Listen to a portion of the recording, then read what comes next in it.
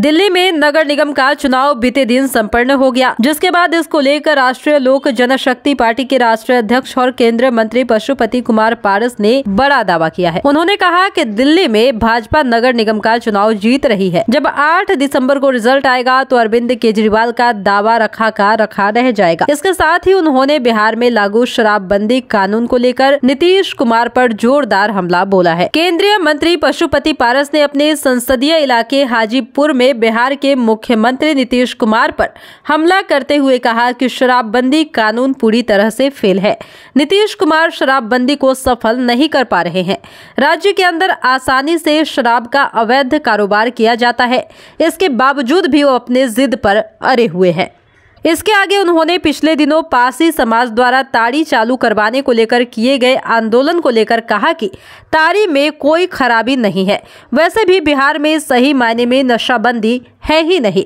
इसलिए नीतीश कुमार को हर हाल में शराब और ताड़ी खोल देना चाहिए। वैसे भी अब उनसे शराबबंदी संभल तो रहा नहीं है और सियासत की कुर्सी संभाले बैठे हैं। उन्होंने कहा कि यदि बिहार में शराबबंदी होती है तो आए दिन यह सूचना नहीं मिलती कि शराब पीने की वजह से मौत हो गई है। यह प्रमाण है कि राज्य में शराबबंदी कानून लागू नहीं है, इसलिए इसे पूरी तरह से चालू कर देना चाहिए। गौरतलब हो कि बिहार में जब से राजद और जदयू की सरकार बनी है, तब से आए दिन विपक्षी दलों के साथ सत्तारूढ़ दल के नेता भी शराबबंदी को लेकर सवाल उठाते रहते हैं।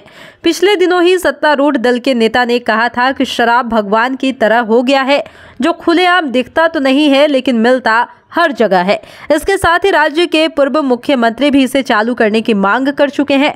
बहरहाल, अब ये देखना होगा कि क्या नीतीश कुमार इन बातों पर ध्यान देते हैं या फिर बिहार में शराबबंदी कानून लागू रहती है।